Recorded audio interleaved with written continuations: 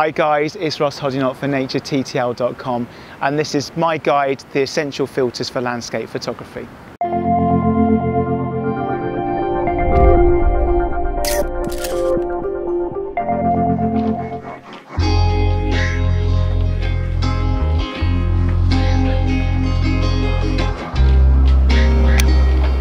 So first things first, we need to decide what type of filter we're going to use to take our photograph. There are two types available. There are circular filters that attach directly to your lens and there are also slot-in filters that work with a system like this. The advantage of a system is that you can combine corrective and creative filters together and it's certainly the, the, the system that I prefer. There are a number of brands that produce this kind of system, including Cokin, NiSi and Hitec, but personally I favour Lee filters and they're renowned for their quality and a lot of leading landscape photographers tend to go for Lee. In order to attach the filter system uh, to my camera, I need to attach a, an adapter ring first. And this adapter ring is a wide angle adapter ring, which means it's recessed further on the lens. And the reason for that is it reduces the risk of vignetting. Once the adapter ring is attached, then I can just pop the filter holder on. And it's as simple as that. It just snaps on and off really quickly. And now I can start to consider my composition and look to frame my shot.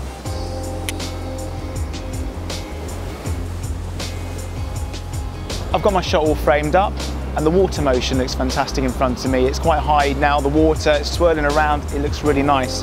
Um, I'm going to take a picture now. I'm just going to take a, a, just a quick test shot basically. The shutter speed is a 30th of a second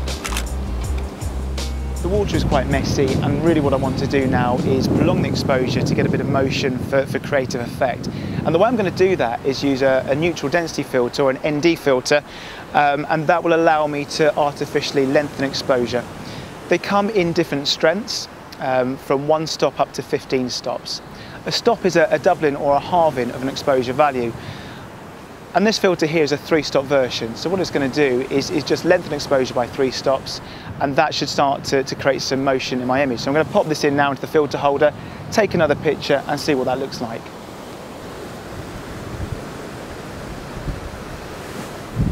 The exposure is now three times longer. So it's gone from a 30th of a second to a 15th to an eighth to a quarter of a second. And I'm just going to take a, another shot now and I'm looking at the review and although the exposure is longer, it's really not long enough to make any great difference to the look of the water in this shot. So what I'm going to do is actually take that three stop filter out and replace it with a more extreme version. I'm going to go with a six stop filter to see if that creates the effect I want.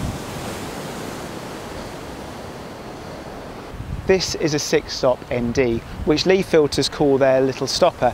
And you'll probably notice on this one it's got a foam gasket, which is designed to just seal the light when you put it into the filter holder to avoid any kind of light leakage. So I'm just going to pop this in now. I'm going to put it into the very closest slot to ensure that it does seal the light.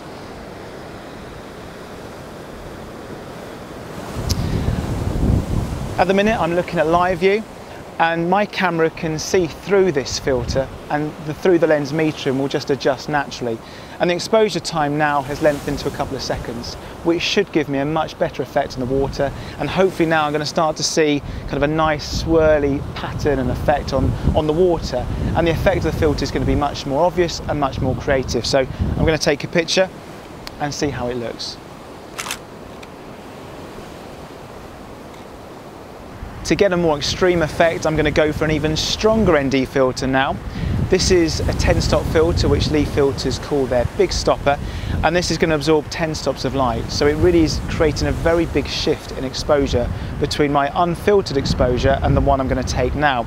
Now this is where it gets slightly more complicated. With this density of filter, my through the lens metering on my camera will really struggle to meter for the scene correctly. So what I need to do is look at my unfiltered exposure, which if you remember was a 30th of a second, and then apply 10 stops worth of exposure onto that. Now in order to do that, I'm going to actually use an app um, there's a number of apps that will allow you to calculate exposure, but I'm going to use the Lee Filters one. So, so first of all, I'm just going to pop this into the, the filter system. Again, making sure it goes into the closest slot to seal the light. And now I'm just going to have a look at the app. And I'm going to dial in the unfiltered exposure time of a 30th. And that tells me that with this filter, I need to expose for 30 seconds. And in order to do that, I'm now going to take it out of aperture priority, put it into manual.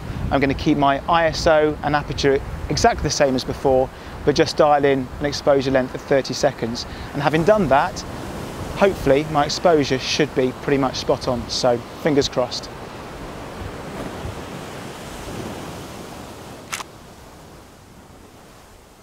Fantastic, look at that. Something to be aware of when you take photographs using extreme NDs is that quite a few brands have some type of colour cast. Often it can be a little bit blue on the cold side or some brands it's quite warm. Don't worry about this too much, you can often correct it in camera by changing your white balance, but most photographers will simply just adjust their white balance in post-processing to neutralise that colour cast. There are some instances where actually the colour cast can look quite attractive, you know, when an image looks a bit cooler or a bit warmer. So don't necessarily correct it, just use your own discretion and process your shots on a shot by shot basis. Long exposures are great fun and the effect can be very, very seductive, but it is very important to remember that it won't enhance every shot. So don't just use these filters for every scene, it's very important that you use them appropriately. Having said that, I really feel that the shot has been vastly improved by the length of exposure here. It's transformed what is a fairly ordinary snap into really quite a nice kind of creative, interesting image. And I'm quite happy now, I'm gonna pack up and head somewhere else for the sunset. Well, sunset is disappointing. As you can probably see behind me, it's a bit grey and a bit bland. But even so, there's lots here to photograph, tons of action, and I'm still gonna need filters to make this shot as interesting as possible. Now, Looking at the tide coming in, again I'm going to use an ND filter to blur the water motion, but the other thing I'm going to use here is an ND grad just to make sure the sky doesn't actually overexpose. So this is a, a graduated ND filter and as you can hopefully see it's half coated and half clear. And the idea with a graduated filter is it allows us to control contrast between brighter skies and darker foregrounds. Contrast is one of the biggest issues landscape photographers face.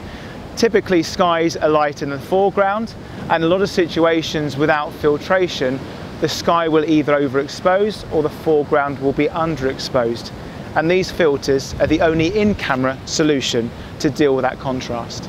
Like solid ND filters, graduated filters come in a variety of different densities, typically one, two and three stop versions they also come with different feathered edge transitions. Typically they come in either soft, medium or hard transitions. And as you can hopefully see from these two filters, basically what it means is the transition from dark to clear is either harder or softer. Now the reason for that is different landscapes have different types of horizon. Typically for a scene like this behind me, and most coastal images, your horizon is relatively straight and even. And so a hard transition filter is perfect for that. But in certain landscapes where the horizon is broken or uneven, a soft grad is much better. And the reason for that is you do not want to pull the graduated zone down over key parts of the landscape. Because if you do, it's going to darken it and look artificial. And so a soft grad is a much better filter in those instances because the transition just basically feathers in to the landscape.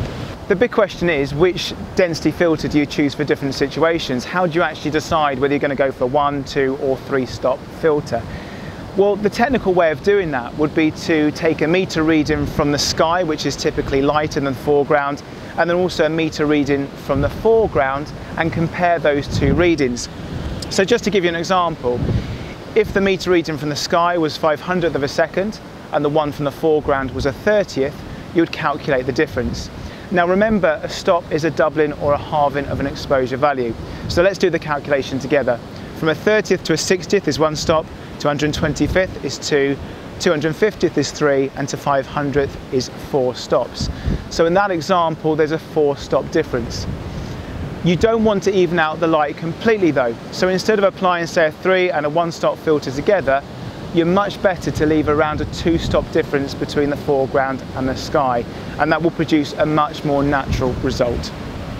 Now in this instance, as you can see the sky is quite grey and the contrast isn't very great at all. And possibly in this instance I don't necessarily need a grad at all. But actually the sky is looking a little bit light and washed out without a filter. And I'm going to use a two-stop filter just to darken the sky slightly, bring out some of that lovely texture in the sky and make the shot look a bit more dramatic. So you might be wondering why I favour using filters rather than taking a number of different exposures and blending them together to deal with a level of contrast. Well quite simply it's a matter of time. As a professional photographer I really spend a lot of time in front of a screen and I want to try and minimise the amount of time I have to process my shots and filters allow me to create the results I want in camera and then the amount of time that I have to dedicate to processing them is minimised. Landscape photographers often make the mistake of using graduated filters for every scene, but it's only high contrast images that you actually require a graduated filter. And if you apply them incorrectly, you might find that your skies are either overgraduated and too dark or your foregrounds are too light and bright, and that will look artificial. So before putting your filter in, actually have a look at your histogram. So whether you've got a live histogram on live view or whether you have to take an image and then review the result, have a look at the shape of that histogram and if you see that there's actually a dip in the midtones so it's like a horseshoe effect that often suggests that you either need to use a grad or that you need to use a stronger grad. So use the histogram to help guide your use of filtration. Before I get swept away guys I'm going to say goodbye. I hope you've really enjoyed this tutorial today and that you found it helpful. Don't forget to subscribe to Nature TTL and I look forward to seeing you again very soon. Subscribe for more and don't forget to check the description for links to all the gear used in this video.